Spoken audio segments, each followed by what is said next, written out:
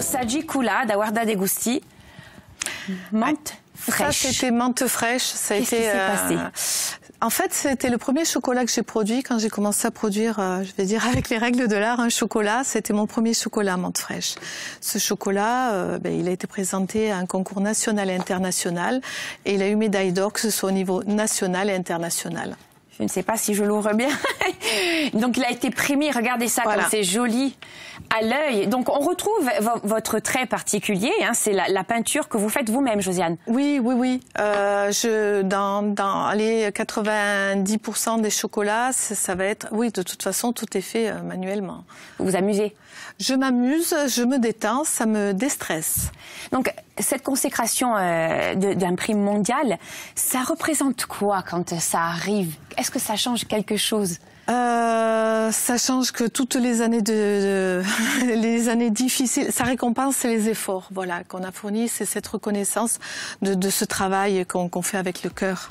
C'est quoi la réaction quand on...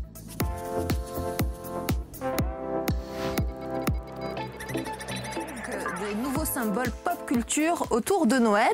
Alors, une production presque totalement anglo-saxonne, euh, tout comme les chansons de Noël. La culture populaire française se désintéresserait-elle euh, de cette grande fête familiale Marcel Petricholi ne se désintéresse pas, mais c'est vrai qu'il y a beaucoup de choses qui viennent des pays anglo-saxons, notamment aux États-Unis.